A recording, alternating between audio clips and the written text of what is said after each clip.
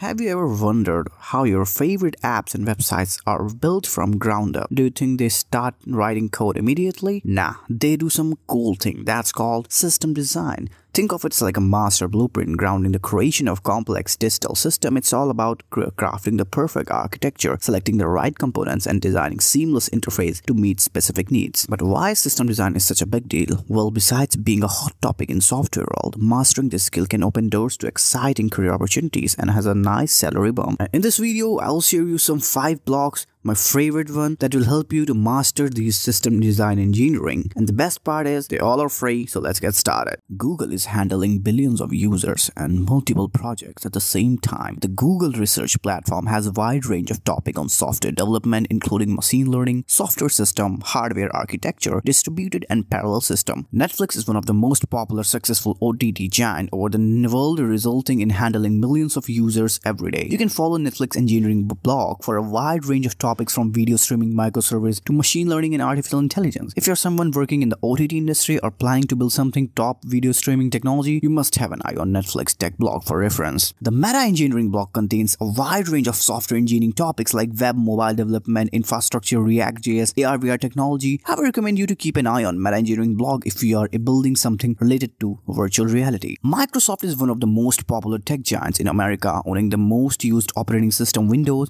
the .NET framework for building blazingly fast interface. The Microsoft Engineering blog contains a wide range of topic and tutorials, also including the Microsoft Azure Machine Learning, artificial intelligence, .NET. If you're someone planning to build your next app or software using Microsoft technologies, then you must have an eye on it. Apple is one of the latest tech giants in the world, also owns the most popular macOS system. The Apple Developer News mostly contains topics related to iOS, Swift, Swift UI, C++, Kubernetes. If you're someone who is planning to build a software for iOS, this is a good developer blog for you.